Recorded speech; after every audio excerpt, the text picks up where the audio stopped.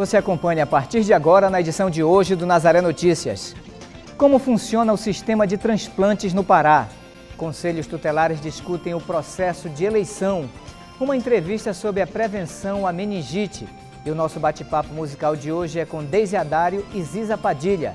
Hoje é sexta-feira, 13 de março, e o Nazaré Notícias já está no ar.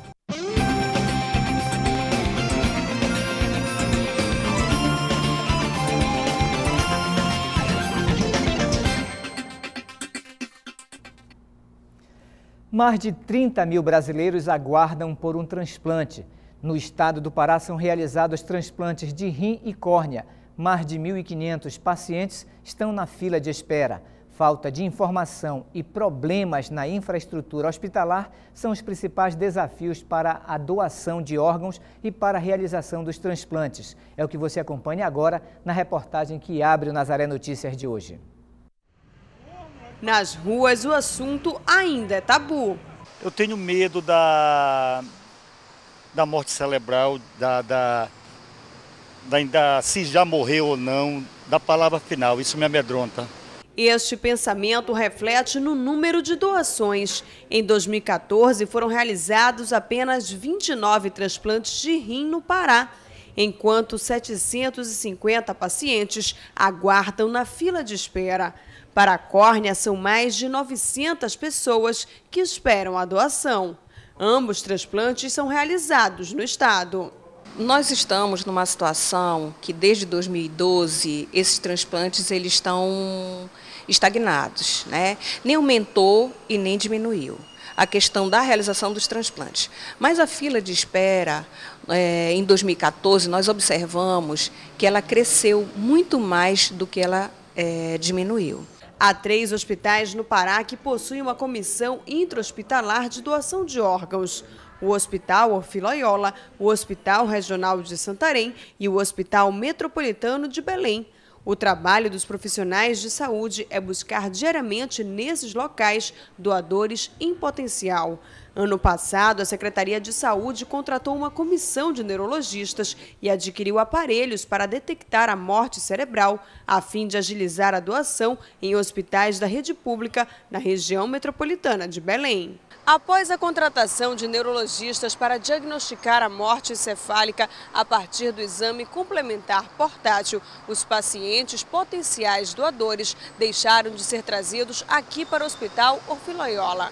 Antes, todo o processo, desde a doação, a captação e o transplante do órgão, eram feitos exclusivamente pelo hospital.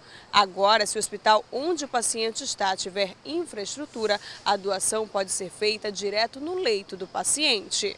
Durante anos, uh, o doador por exemplo, se ele fosse identificado lá no metropolitano, esse doador, ele abria o protocolo de morte encefálica e depois ele era transferido para o Ofir Loyola para fechar esse diagnóstico e então, depois de fechado, ter a captação dos órgãos. Somente no Ofir Loyola era realizado.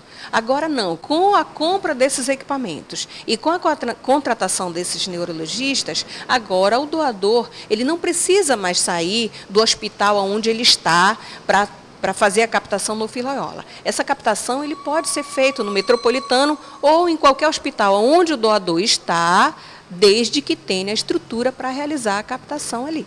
Outra dificuldade na realização dos transplantes é a falta de autorização da família para a cirurgia. Ano passado, a taxa de negativa familiar ficou em 46% no Pará. Poucos têm o pensamento de risolete ajudar as pessoas que precisam, que hoje em dia é o que mais nós precisamos no nosso país, ajudar as pessoas, né? Que está faltando muito amor e carinho. Para reverter a falta de informação, existem as campanhas educativas que mostram à população o que é a doação de órgãos, explicam a morte cerebral e tiram dúvidas sobre o sistema de transplantes. E é importante também a, a, a população saber que é um direito do cidadão, seja ele um doador de órgão ou não. Mas se foi observado que ele não está respondendo aos sinais vitais cerebrais, é um direito do cidadão que aquele hospital, aquela equipe que está assistindo, abra o protocolo de morte encefálica e que se feche esse protocolo com dois exames clínicos e um exame complementar. É um direito de todo cidadão que está com este quadro de morte encefálica, que este protocolo seja fechado, seja ele um doador ou não. E ainda falando de saúde, a Santa Casa de Misericórdia é referência em partos de alto risco aqui no estado do Pará. E para atender a essa demanda que necessita de cuidados específicos, a instituição instalou novas incubadoras para reforçar a qualidade do tratamento e acompanhamento dos prematuros. Aqui são realizados quase 8 mil partos por ano. Cerca de 60% são de alto risco e 14% são de crianças que nascem abaixo do peso. A instituição é referência aqui no estado para essa demanda e o atendimento nesse sentido precisa se modernizar. A Santa Casa realiza cerca de 700 partos por mês. Desse total, 38% são de crianças prematuras que necessitam de uma atenção diferenciada.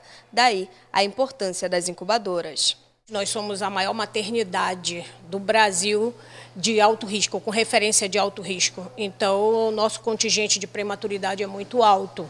Nós temos 38% de prematura. Então, nós precisamos trabalhar com 100% dos bebês dentro da incubadora. As incubadoras atendem às necessidades das crianças que precisam ganhar peso ou fazer tratamentos específicos. É importante uma incubadora para o recém-nascido para que ele não perca calor nem umidade para o meio ambiente.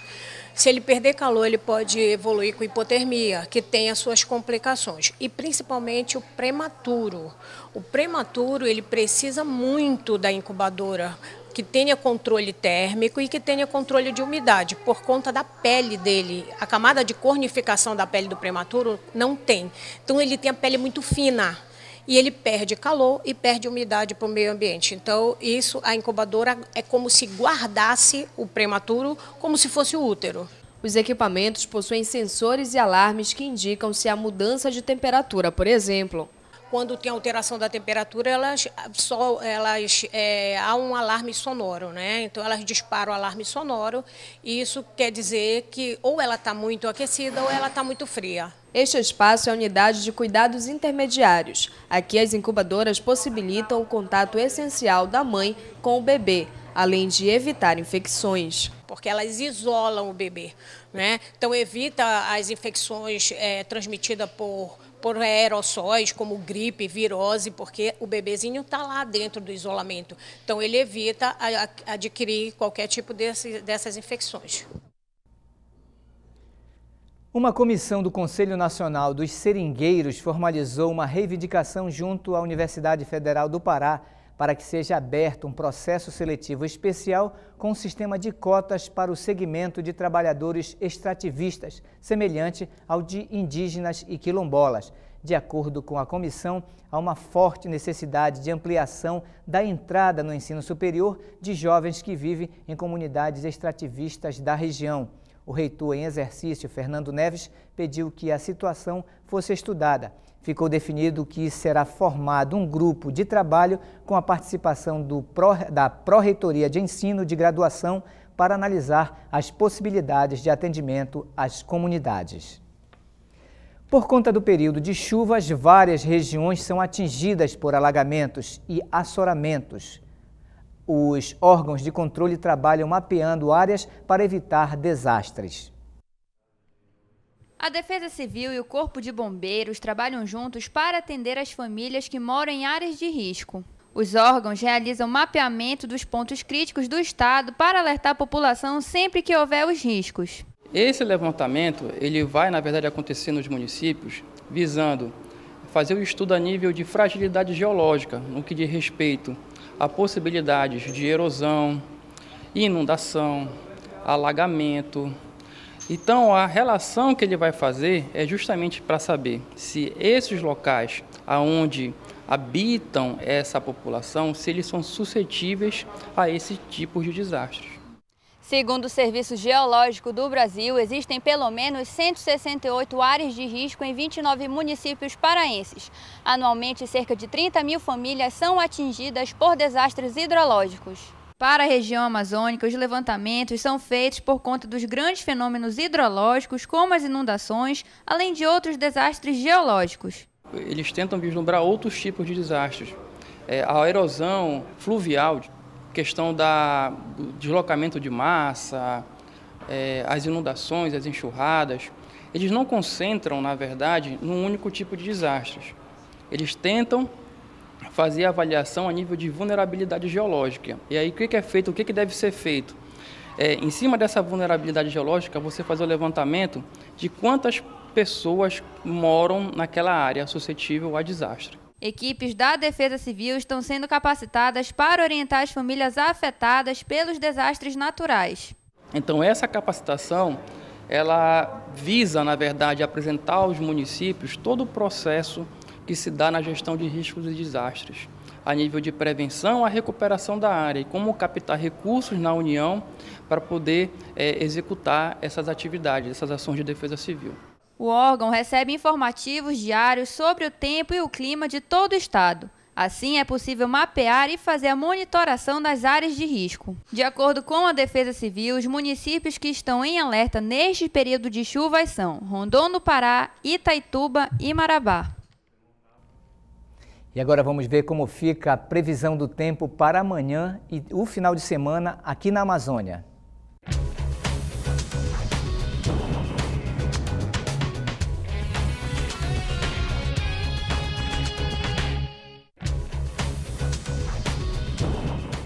Este final de semana deverá ser bastante chuvoso no município de Viseu, no Pará. A temperatura mínima será de 25 graus e a máxima de 29. Em Bragança, também no estado, os dias ficarão encobertos e com chuva. A temperatura mínima fica em 24 graus e a máxima em 28. E em São Luís, no Maranhão, o final de semana será de pouco sol e possibilidade de chuva. A temperatura mínima de 25 graus e a máxima de 32.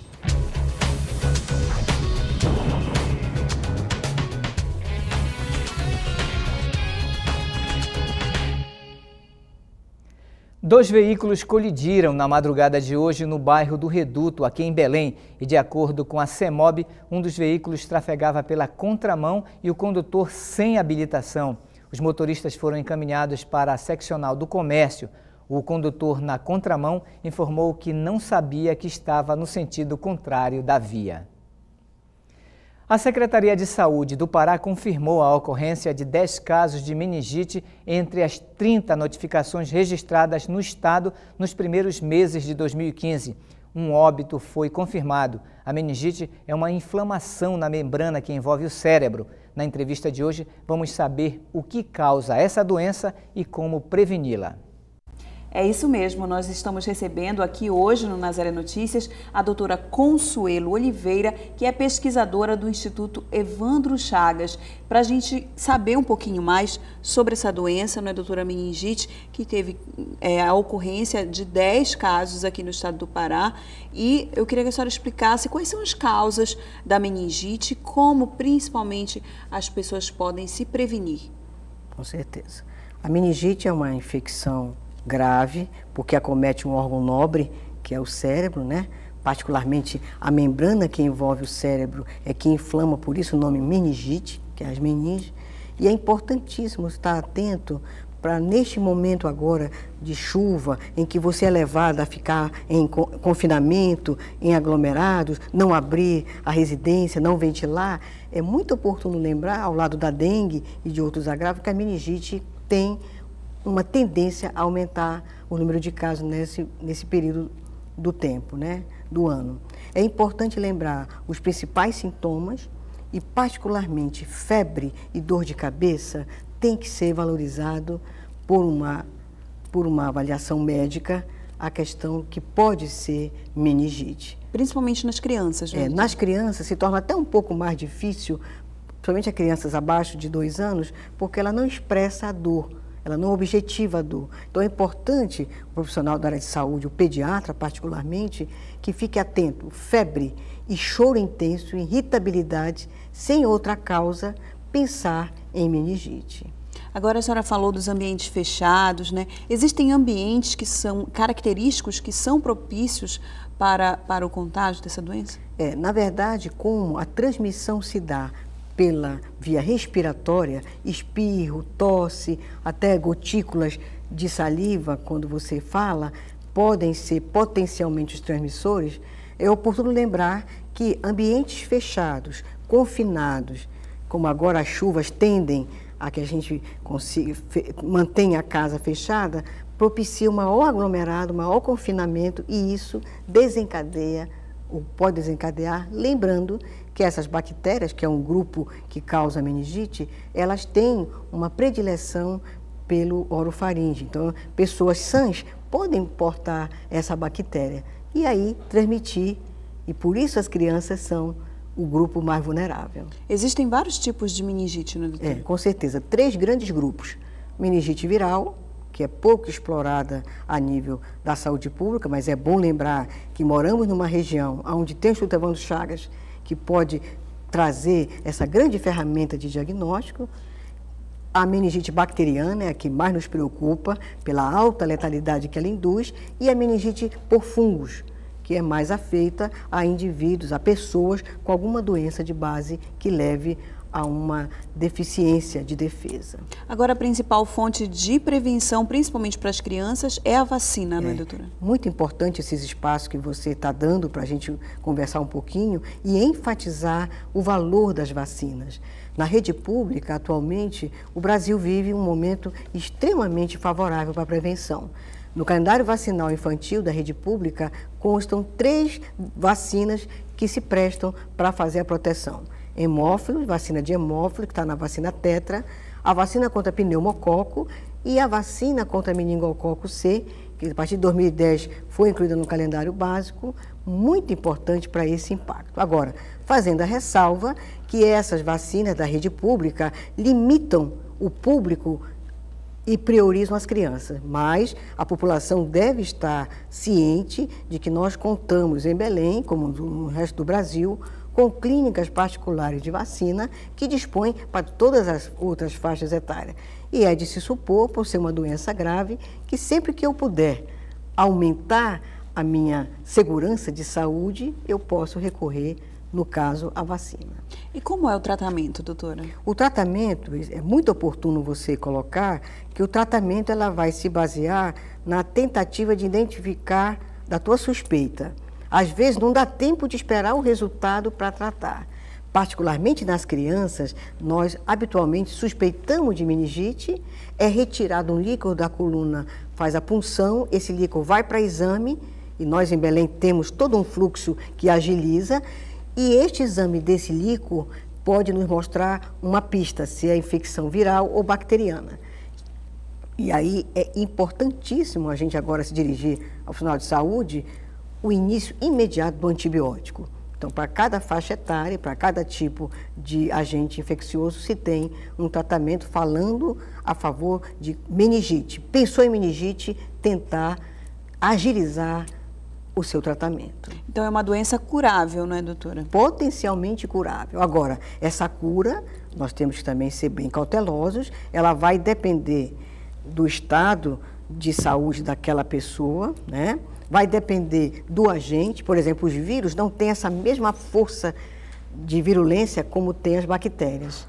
Então, é claro, dependendo do tipo, você tem muito mais chance, mas atualmente o nosso índice de cura, e principalmente quando você cura e não deixa sequela. Existe a possibilidade de sequela? Existe. Que tipo de sequela? Surdez, tá? cegueira, problemas até de atraso motor. Uma criança, por exemplo, que já estava andando pode perder essa condição e não conseguir mais deambular, mais andar. Então, é oportuno que, nesse momento, a população de Belém e do Pará como um todo esteja alerta de que, ao lado da dengue, da gripe, as doenças continuam a ocorrer. E a meningite, particularmente nesse momento, ela tem uma tendência para aumentar o número de casos. Existe algum tipo de diferença entre as vacinas que são oferecidas nas unidades de saúde, pelo sistema público de saúde, e nas vacinas que são oferecidas nas clínicas particulares? É, novamente a gente tem uma boa notícia. A grande maioria das vacinas da rede pública tem na privada, ou vice-versa. Agora, a grande diferença, eu volto a insistir, é o público que a rede pública cobre que a prioridade é quem vai complicar, quem vai morrer mais rápido que a criança. Agora, é oportuno lembrar que nós temos que ter uma atitude preventiva mais alargada. Neste momento, a clínica privada está oferecendo desde o ano passado no Brasil uma vacina muito interessante, que é uma vacina chamada quádrupla, porque contempla quatro, quatro tipos da bactéria meningococo, mais importante na questão da meningite. Então, uma boa notícia que Belém já disponha dessa vacina, tá? Até o momento ainda disponível só na clínica privada, mas que já dá um grande é, é, chamamento para que, sempre que possível, vamos cobrir o que está sendo apresentado como um instrumento, como uma ferramenta importante. Agora, em qualquer é, unidade de saúde ou é, hospital, público de Belém mesmo, é possível fazer esse diagnóstico tranquilamente e encaminhar já para o tratamento, doutora? É, nós temos agora, há mais ou menos uns quatro anos, um fluxo muito bom. A unidade de meningite que fica no Hospital Barros Barreto tem nos ajudado muito a agilizar o exame. O paciente suspeito de meningite, algumas unidades não dispõem dessa é, ferramenta de fazer a punção, encaminha para a unidade de, da, de meningite do Barro Barreto, lá é feito esse procedimento e é encaminhado naquele local para examinar se é do tipo viral ou bacteriano inicialmente. Não diria que a rede pública toda está preparada para isso, mas temos unidades como, por exemplo, a Pedreira, que é uma unidade de referência. Mas agora, a unidade diagnóstica de meningite no bairro Barreto passa a ser a nossa referência a nível de Estado. Chegou uma pergunta para nós, doutora, sobre o que seria a vacina acelular. Tá. A vacina acelular, o próprio nome está dizendo, é uma vacina que é feita de partículas da bactéria ou do vírus, tá certo? No, na questão da meningite, nós não temos uma vacina acelular. Nós temos vacinas purificadas, refinadas, que é a vacina quádrupla, que é contra a meningite meningococo A, C, W e Y. Mas a tendência do mundo atual é você fabricar, produzir vacinas mais seguras e do tipo acelular. Agora, doutora, qual é a idade em que a criança deve ser encaminhada pelos pais até a unidade de saúde para receber a vacina? Muito bom. O Programa Nacional de Imunizações, ele preconiza um calendário vacinal extremamente é, amplo que o Brasil tem e a partir do segundo mês, do, do, ao nascimento, o bebê começa a caminhar na questão das vacinas.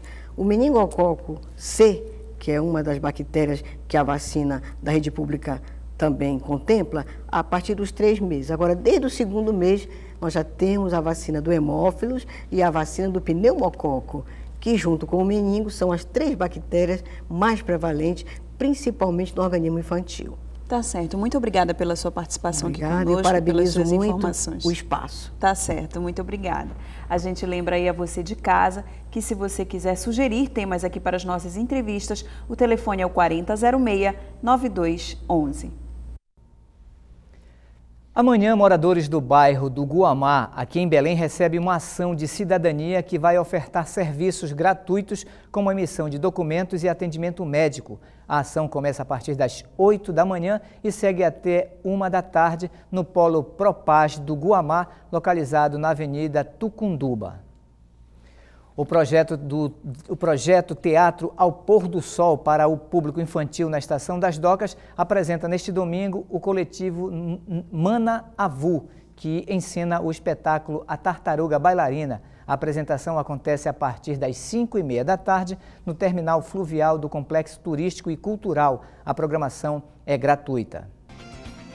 E você acompanha ainda nesta edição. Conselhos tutelares discutem o processo de eleição. E no nosso bate-papo musical de hoje é com Deise Adário e Ziza Padilha. Voltamos com Nazaré Notícias falando dos conselhos tutelares. O Conselho Estadual da Criança e do Adolescente realiza um encontro aqui em Belém para discutir o processo unificado de eleições dos conselheiros de 2015. O encontro reúne conselheiros de todo o estado do Pará para discutir as funções do Conselho, a importância dele para a garantia de direitos e as eleições de 2015. Processo de escolha unificada dos conselheiros tutelares hoje e amanhã orientações para as conferências municipais. O Conselho Tutelar é um órgão importante e autônomo que garante o direito de crianças e adolescentes. Eles são a porta de entrada para denúncia e para tomada de providência de qualquer violação de direito. Então eles são assim aquele primeiro recurso que a comunidade lança a mão para socorrer uma criança, para proteger uma criança, fundamental. São, é, os conselhos são independentes, são autônomos. Pela lei, eles são órgãos autônomos que não dependem e também não têm poder de juiz. Eles têm que ter a capacitação para dar conta de saber atender e separar os casos para encaminhar a quem cabe a responsabilidade. Até 2012, cada município possuía direcionamento próprio para a escolha dos seus conselheiros tutelares. E esse processo acontecia em datas distintas. Mas a partir desse ano, esse processo será unificado. No dia 4 de outubro, em todo o Brasil, acontecerão as eleições para os conselheiros tutelares. Foi uma lei aprovada no Brasil todo para evitar problemas, né, de fazer a capacitação, de fazer o acompanhamento. Então, foi uma decisão aprovada na Câmara Federal, sancionada pela presidenta, que em todo o Brasil, no mesmo dia, seja feita a eleição, para que todo mundo saiba desse fato histórico que estamos elegendo as pessoas que vão defender os direitos das crianças e adolescentes. Antes, a gestão dos conselhos tutelares mudava a cada três anos. Com a Lei Federal 12.696 de 2012, que unifica as eleições, a gestão ficará à frente do Conselho por quatro anos. Há um mês da Semana Santa, o preço do pescado tem alta na Grande Belém. Em alguns casos, o reajuste ultrapassa 20%. Um levantamento realizado pelo Diese mostra que nos dois primeiros meses de 2015, o preço do pescado comercializado em mercados e supermercados da região metropolitana de Belém apresentou um aumento que ultrapassa os 20%, contra uma inflação de 2,66%. Ainda segundo o órgão, dos pescados comercializados inteiros, o maior reajuste verificado foi do filhote, com alta de 24,53%, seguido da pratiqueira, com alta de 15,31%, dourada, com 7,96% e da pescada branca, com alta de 6,71%. Já os pescados comercializados em postas, os maiores reajustes nos meses de janeiro e fevereiro aconteceram no quilo da pescada amarela, com alta de 7,82%, e da dourada, com alta de 3,14%. Na tarde de ontem, estudantes de duas faculdades particulares de Belém protestaram contra as dificuldades para conseguir vagas no Programa de Financiamento Estudantil, o FIES. Os alunos caminharam em forma de protesto até a sede do Ministério Público Federal em Belém para obter uma resposta sobre os problemas enfrentados no cadastro do FIES. Os estudantes estão há dois meses tentando se cadastrar no site do programa.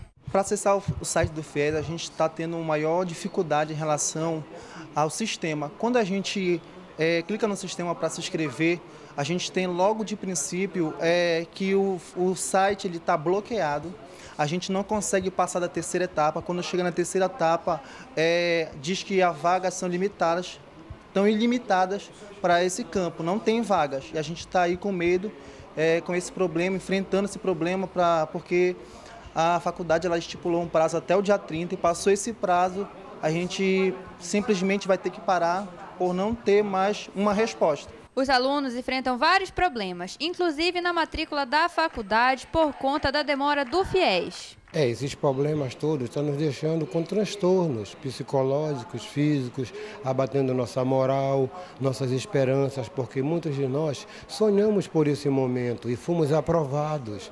Merecemos o ensino gratuito, de graça, mesmo nas faculdades é, particulares, mas foi disponibilizado o FIES. Se foi disponibilizado, por que esse impasse?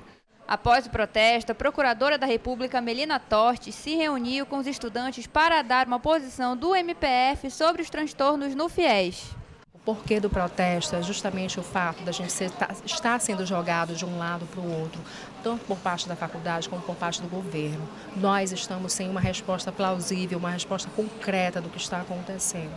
Daí a decisão de sair em marcha hoje pelas ruas e vir aqui no Ministério Público Federal, que também é a Casa do Povo, cobrar uma resposta concreta. Nós queremos uma resposta e nós viemos atrás dela hoje. E a Defensoria Pública do Pará realiza hoje a primeira audiência de conciliação com representantes de uma universidade particular aqui do estado para solucionar as dificuldades de entrada ao programa de financiamento estudantil denunciadas por universitários. A Defensoria informou que serão debatidos casos concretos de estudantes prejudicados tanto pelo não atendimento de contratos quanto pelos problemas no site do FIES. Uma audiência pública foi marcada para o dia 20 de março na Assembleia Legislativa do Estado. A programação da mostra Banquete Brasil-África, em cartaz no Centro Cultural do Carmo, em Belém, lança hoje o documentário Nós Quilombolas, da Amazônia. O lançamento acontece às sete da noite. O vídeo é resultado das oficinas de música e audiovisual realizado nas comunidades quilombolas de Guajará-Miri e Itacoã no Baixo Acará, no Nordeste paraense. O documentário foi o único da Amazônia que recebeu o prêmio alusivo ao Dia Nacional da Consciência Negra da Fundação Cultural Palmares.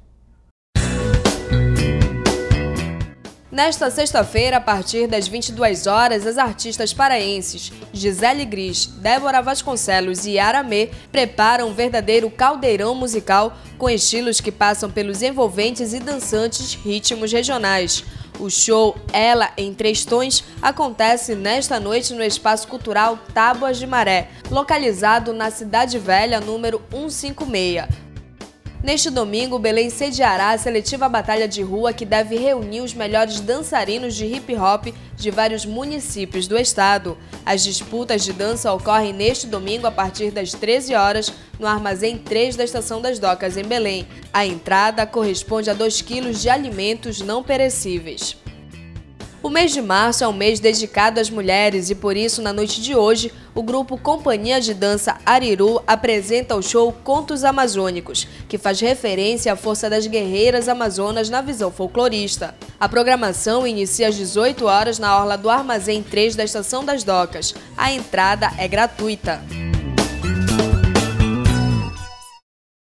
Março é um dos meses mais chuvosos do ano na região amazônica. No bate-papo musical de hoje, vamos conhecer artistas que se inspiram na chuva para compor um projeto de música. Larissa Cristina conversou com Deise Adário e Ziza Padilha. Marcos, a chuva é a cara de Belém e para entoar a melodia dessas chuvas da nossa capital paraense, surgiu o projeto da cantora Deise Adário e do Zarabatana Jazz Band através do violonista, também arranjador Ziza Padilha. Eles estão aqui com a gente para falar um pouco mais desse projeto. Desde esse projeto já percorreu alguns municípios do Pará, inclusive a capital paraense. Me conta um pouquinho como é que é essa melodia das chuvas.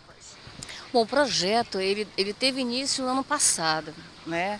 E ele consiste em shows e workshops, que uh, reunindo desde a Dário Zarabatana Jazz Band com músicas totalmente autorais de Ziza Padilha e com parcerias. E esse projeto, que já chegou em 2015 com o show, né, a gente está é, é, se preparando para finalizar um CD que concluirá o projeto no final do ano com o lançamento do CD Melodia das Chuvas, com Deise Adari e Zarabatana Jazz Band. Começou em 2014, vocês já percorreram alguns municípios, como você falou, e agora vai ser então um grande concerto do Músicas para a Chuva, né? Melodias da Chuva. O Ziza Padilha também faz aniversário nesse mês de março e esse show também vai comemorar, vai ser uma grande festa. Exatamente. No dia do show, no dia 19, eu estou comemorando 40 anos. Desses 40 anos, 22 dedicados à música. A música paraense, a música autoral. E não tem lugar melhor de comemorar do que essa grande família que é a Zarabatana Jazz Band com a Desiadário na frente. Mas o show vai ser com participação de vários artistas, porque também vai ser a festa do teu aniversário, junto com Melodia da Chuva. Exatamente. O show é regido pela Cibele Gemima, nossa diretora artística. Teremos como convidado Tinoco Costa, Manuel Cordeiro, Azel Neves e o guitarrista Igor Capella. Agora o show vai ser aberto ao público. Quem quiser participar, basta ir até o Centur, já garantir os ingressos. os ingressos estão a preços populares, 10 reais. Na, estudante é meia entrada, tem que chegar um pouco mais cedo, compra na hora.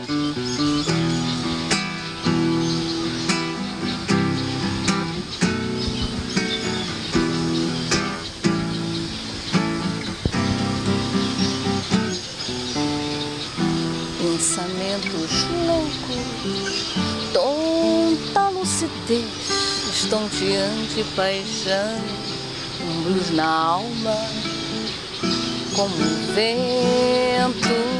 Agora, esse é o segundo trabalho já de Deise Adari, junto com o Zarabatana Jazz Band. Já fica uma expectativa aí, principalmente para a gravação desse CD, para o projeto final?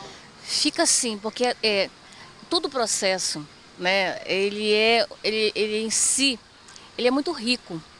Só o fato de reunir 25 músicos num simples ensaio que não tem nada de simples, já requer toda uma, uma estrutura, uma infraestrutura. E a energia é uma grande família, né? Então tudo isso já faz parte e a gente vai perceber com certeza no resultado. Nos palcos, quem já teve a oportunidade de assistir, consegue perceber toda essa energia sonora que advém de amizade, de muita luta, de estudo, né? E vai estar registrada em CD, mais uma vez. Então é um processo maravilhoso que começa desde os ensaios, a, passando pelo palco até o material gravado.